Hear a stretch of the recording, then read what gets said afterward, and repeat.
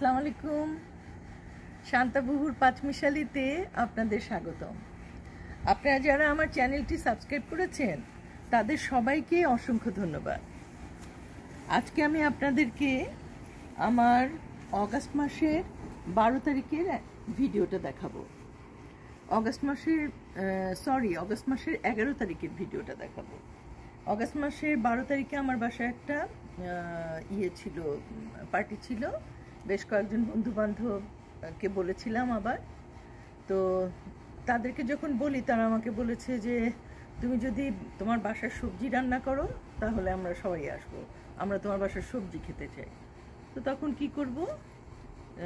বাগানে এলাম। বাগানে এসে আমার বাগানে বাগান থেকে যতটুকু সবজি উঠানো যায়, উঠিয়ে তারপরে রান্না করেছি।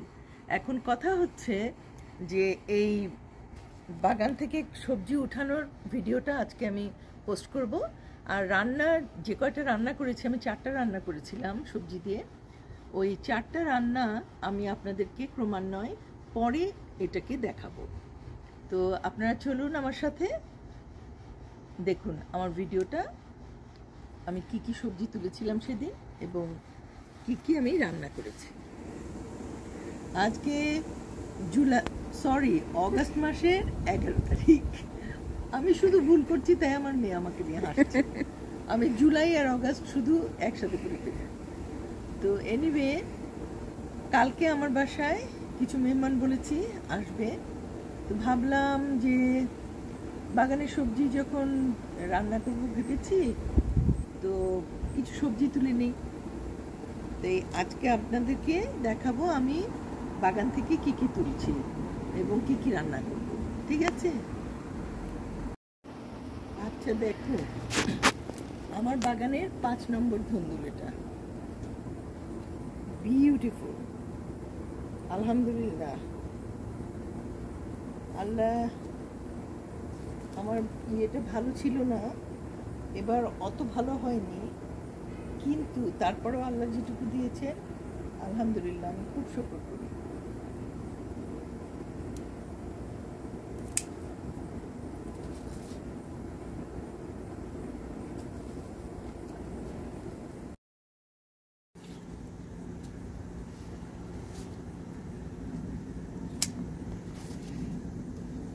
এখন আমি ভাবছি আর কি কাটা যায়।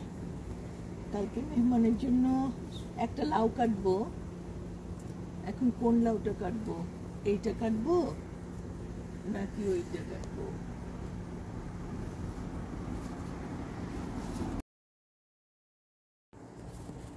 তাই না? এটা আগের কোথায় লাউ? তো আমার বাগানের কত নম্বর লাউ হবে এটা? ছয় গেল। ভাবির ছয় নম্বরটা কেটেছে এটা সাত নম্বর। সাত নম্বর লাউটা কাটবো আমি। বিসমিল্লাহ রহমান রহিম। বারিক। এই যে আমার বাগানের সাত নম্বর লাউ। এটা আমি কাল মেহমানের জন্য রান্না করব। খুব সম্ভব, চিংড়ি দিয়ে করব। আর একটা লাউ ঘরে আছে। ওটা দিয়ে আমি ডাল দিয়ে করব। ওটা ভালো হবে তাই না? আমার মেয়ে আমার ছবি তুলছে তো ও কথা বলছে না শুধু মাথা নাড়ছে। তো আমি খুব হ্যাপি যে আমার গাছের জিনিস দিয়ে আমি মানুষকে আপ্যায়ন করতে পারব।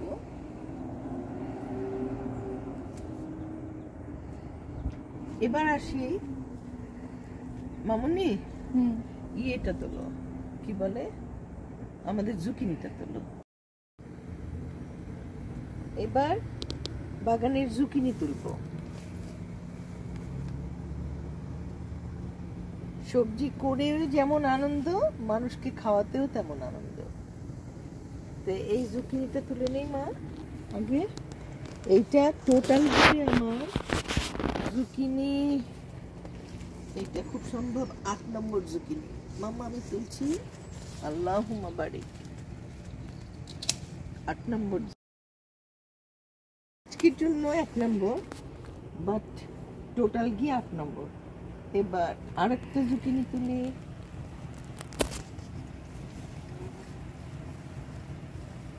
নয় নাম্বার জুকিনি আল্লাহ মোবারক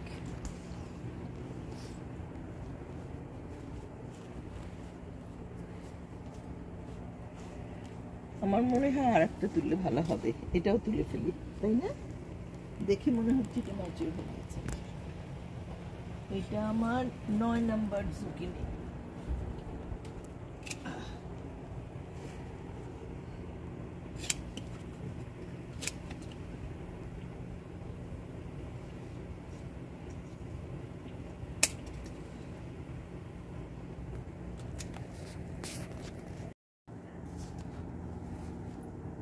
এখানে আর একটা লাউ কাটবার মতো হয়ে গেছে। তো এমনিতেই ঘরে আর একটা লাউ আছে। সেই জন্য আজকে কাটলাম না। দুদিন পরে এটা কাটবো। কাল, কালকে তো কাটতে পারব না, কালকে মেহমান আসবে। পরশু এটা কাটবো। আর কিছু পুঁই শাক তুলি দিয়েও কিছু একটা আইটেম বানিয়ে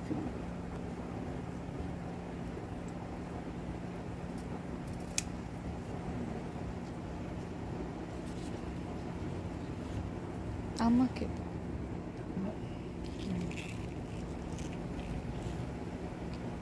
শাকটা অনেক তাড়াতাড়ি বাড়ে।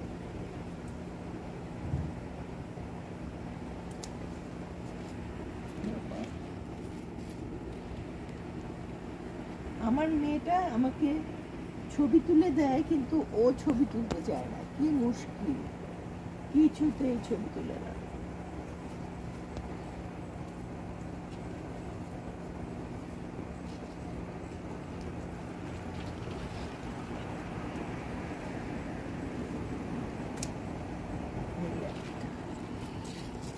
খুব ভালো লাগছে। নিজের বাগানের তরকারি রান্না করতে অনেক ভালো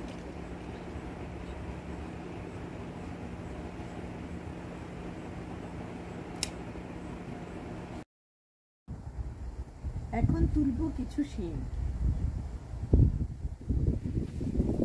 এই বিনসগুলি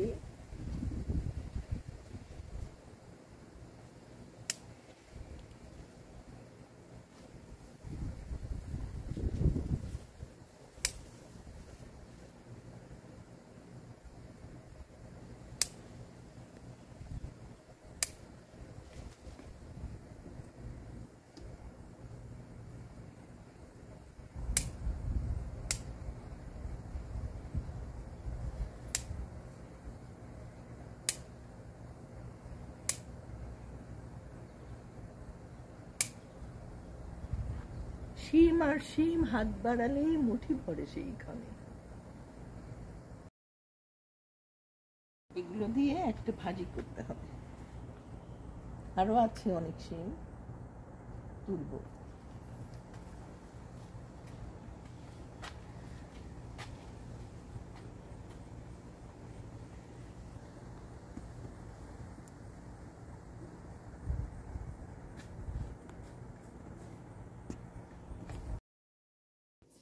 আজকে আমার টোটাল হারভেস্ট আজকে অগাস্টের এগারো তারিখ, এই পুঁশাক আর এদিকে রয়েছে তিনটে জুকিনি দুটো ধুন্দুল, একটা লাউ, আর কুলো ভরা শিম। এখানে গ্রিন বিনস আছে, এদিকে আছে এখানকার ক্যানাডিয়ান বিনস এখানে কিছু আছে বরবটি, লং বিনস, আর ওইদিকে আছে বেগুনি রঙের অল্প শিম। তো এই হলো আমার আজকের হারভেস্ট এরপরে আমি এগুলো রান্না করব। ভাবলাম এই মিষ্টি কুমড়োটা দিয়ে পুঁই শাকটাকে আমি রান্না করব। প্রথমে পুঁই শাকটাকে আমি কেটে নেব, ছোট ছোট করে কেটে নেব, পাতাগুলোকে টেকে আলাদা করে অল্প করে কেটে নেব এবং প্রত্যেকটা ডাটকে আমি ছুলে এটাকে সুন্দর করে ছোট ছোট টুকরো করে কেটে নেব। আর মিষ্টি কুমড়োটাকে ছুলে ছোট ছোট পিস করে, ডুমো ডুমো করে কাটা যেটাকে বলে সেরকমভাবে পিস করে আমি কেটে নেব। এটা হবে আমার মিষ্টি কুমড়ো দিয়ে পুঁই শাক রান্না। পরে আমি আপনাদেরকে রেসিপিটা দিয়ে দেব। এবার আসি, আমি আমার আরেকটা আইটেমে ভাবলাম আমি এখন এই লাউটাকে কি কাজে লাগাবো? এই লাউ এবং ইয়ে কি বলে জুকিনি এবং তার সাথে একটা মিষ্টি আলু, এগুলো দিয়ে আমি একটু চিংড়ি মাছ অ্যাড করব, করে লাউ চিংড়ি রান্না করব। তো এই হলো আমার সবজি। আর বাগানের শিম দিয়ে আর অল্প কিছু বরবটি আছে, এটা দিয়ে আমি মিষ্টি আলু দিয়ে একসাথে ভাজি করব। এই বাগানের শিমটাকে প্রথমে ছুলে নেব। এইভাবে উপর থেকে তো ছুলে নেওয়া যায় না, এরকম করে টেনে আমি পরিষ্কার করে ধুয়ে তারপরে এটাকে ছোট ছোট করে টুকরো করে কেটে নেব। এবং বরবটিটাকেও ঠিক সেমভাবে কেটে নেব। এটাকেও ঠিক একইভাবে আমি এরকম করে ছুলে ছোট ছোট টুকরো করে কেটে তারপরে আমি রান্না করব। এবং এই মিষ্টি আলুটাকে আমি সাধারণত সাদা আলু খাই না। এই মিষ্টি আলুটাকে আমি ছুলে ছোট ছোট টুকরো করে কেটে এটার সাথে ভাজি করব। এটা আর একটা আইটেম তারপরে ভাবছি এই ধন্দুলটাকে, ধন্দুলটা বেশ বড় হয়েছে, বিশ ইঞ্চি মতো লম্বা, বিশ থেকে বাইশ ইঞ্চি, আর এটা চোদ্দ পনেরো ইঞ্চি লম্বা। গতবারও আমি দুটো ধন্দুল রান্না করেছিলাম, অসম্ভব মজা, ভীষণ টেস্টি এই ধন্দুল। এই, তাই ভাবছি যে এই ধন্দুল দিয়ে আমি পোস্ত রান্না করব। ধন্দুল পোস্ত তৈরি করব আর এই মিষ্টি আলুটাকে এর সাথে দিয়ে রান্না করব। আমি প্রথমে ধন্দুলটাকে খুব পাতলা করে ছুলে নেব দুটোই, ভীষণ পাতলা করে, কিংবা উপর থেকে চামড়াটাকে ঘষে ঘষে তুলতেও পারি। আপনাদেরকে পরে আমি বলে দেব। আর এই আলুটাকে, মিষ্টি আলুটাকে পাতলা করে ছুলে স্লাইস করে কেটে নেব। পরে আপনাদেরকে আমি দেখাচ্ছি এবং আমার রান্নার পদ্ধতি এবং উপকরণগুলো আমি পরে আপনাদেরকে দিয়ে দেব।